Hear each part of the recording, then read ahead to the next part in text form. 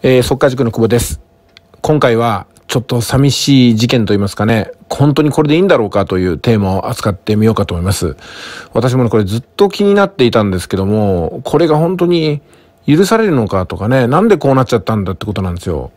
我が日本では若者の労働力不足が深刻なわけですよね。まあそういうところで、この記事にありますけども、あの日本のために働いていきたいとかね、日本で働いてなんとかね、家族を養っていきたい。まあいろんな動機があると思いますけども、とにもかくにも私たちの国、日本のために、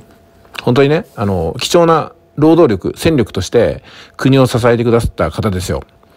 そのベトナム人青年がコロナ禍で適切な補助も受けれずに、まあお亡くなりになったというね。衰弱死というか、餓死なんでしょうかね。原因はよくわからないんですけども、こういうふうに書いてます。新型コロナウイルスの感染者が再び急増していた2020年11月、埼玉県内で悼まれた葬式、2年前にベトナムから来日した彼は、勤務先の寮で一人衰弱し、帰らぬ人となった。新型コロナ感染が疑われていた。うん。グエンゴク・チョンさん24歳。こんな若いんですよね。千葉県内の塗装会社の技能実習生だった。この技能実習生っていう制度がね、うん、まあ母国に一つ年下の妻と2歳の息子が残された。優しくていつも笑っていた。別れを惜しみ、目元を拭う人たちの姿があった。これ同僚の方なんですかね。うん、あの、遠く国を離れて見知らぬ土地でですね、土地勘もないし知り合いも少ない中で一生懸命働いてくださった方がこの新型コロナウイルスというものに、まあ、巻き込まれて、これはまあ病気そのものもそうですけども、社会的風潮とかね、それからソーシャルディスタンスっていう、うあまり気にかけていてもあんまり、えーうん、行くことができないとか会うことができないっていう環境も込みでなんですけども、うん、なんかもう本当に胸が詰まると言いますかね、2歳の息子さん、あ、お子さんですね。お子さんを抱えたまま息子さんですか。これは本当にお辛いですよね。最後まできっと家族のことを思いながら、うん、もだい苦しんだんではないかなと。異国の地でね、戦争でもないのにこうやって死ななくてはならなかったということで、なんとかならなかったのかなと。うん。まあもちろんね、この塗装会社の人にどうこうってことではないですよ。うん。やっぱりこういうふうな社会的な、うん、まあ立場の弱い方とかね、あと、まあ、言語とか文化とか習慣とか知り合いの作りにくい環境の方がこういうふうなことになってしまうってことでなんかね救えた命だったんじゃないかなと思うんですよ本当にねあの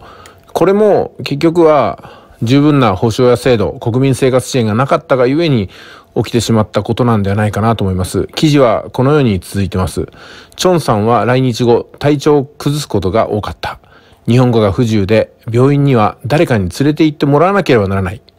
そりゃそうですよね。私たちが海外に行っても、病院がどこにあるのかね。それ施設見ただけじゃ分かりにくいですよね。で、どうやって受付をするのかとか、どういうふうなね、費用がかかるのか、え本当に不安だと思いますよ。記事に戻ります。亡くなる前も扁桃腺や貧血などの診断を受けていた。肺にも症状があり、10月の PCR 検査は陰性だった。薬を飲めば熱は下がるが、数日後に、えー、発熱する日が続いた。どうやって死んだのか何を思ったのかもう聞くことはできない。残されたチャット記録や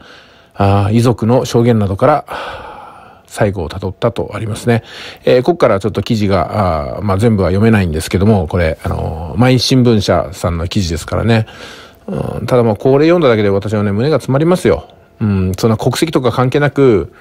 あの、一生懸命働いてね、小さな幸せを大切にしていた人が、何の罪もなく死んでいくわけですよ。だから日本の中小企業、それから飲食店さん、旅行業者さんも、まあ大変だと思うんですけども、うん、一重にね、あの、国が救える命だったんじゃないかなと思うんですよ。貴重な未来あるこの青年が24歳という若さにして、家族とね、別れなければならなかった。この悲しみとか苦しみとかね、うん、ご遺族の気持ちを思うと、日本憎しというふうなことになっても、これはね、仕方がないんじゃないかなと思いますし、えー、なんとも言えないですね。えー、で、これはね、私、あの、将来の日本の姿ではないかなとも思うんですよ。このまんま、あ時間が過ぎて、この日本という国がこのまんま、あまあ、緊縮財政を続けていけばですね、きっと遠からずこんな未来が来る。要するに、日本人の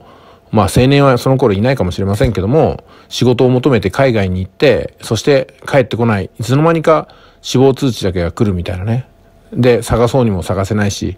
何かをしようにもできないというこのもどかしさの中で、ね、本当にこう悔しさとねそれから保証もなくその後残された家族が、うん、何とも言えない日々を送るのかなと思うとね、うん、これでいいのかなとか思っちゃいますね、えー、ちょっとね私胸に詰まるところがあったんですけどもどうしてもこれ一人でも多くの方に知ってほしくて動画にしてみました。えー、このね、お亡くなりになった方にお悔やみを申し上げるとともに、もう二度とこんなことが起きないように願うばかりでございます。西村大臣の会見が始まったみたいですけども、ちょっと聞いてみますね。えー、西村大臣、本当こういう人の、うん、命、どういうふうに捉えてるのか、うん、私がね、記者だったら質問したいところですよね。それではありがとうございました。